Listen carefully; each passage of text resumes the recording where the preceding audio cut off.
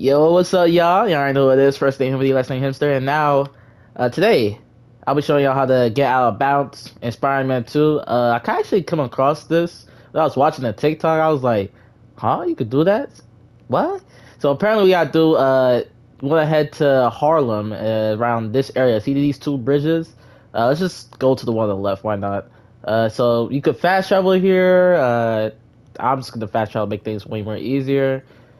So let's just get there. We out. But yeah, uh, this is actually pretty easy. I, it, it may be kind of difficult to do at first. Was it this side? Yeah, I think it was this side. So what you want to do, you want to get close to the out of bounds area, or is it going to tell you to um go back to the playable area? Spider-Man, come on. I think it was this way, right?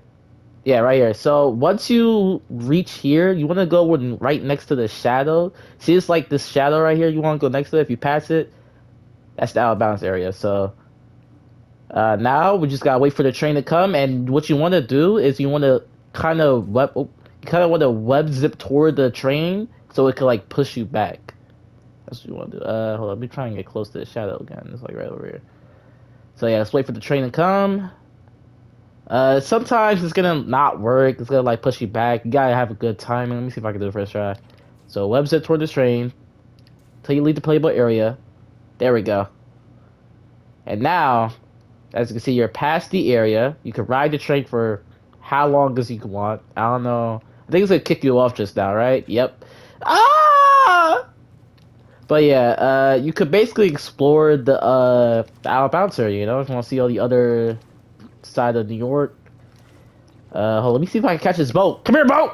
I think you can ride this boat, right?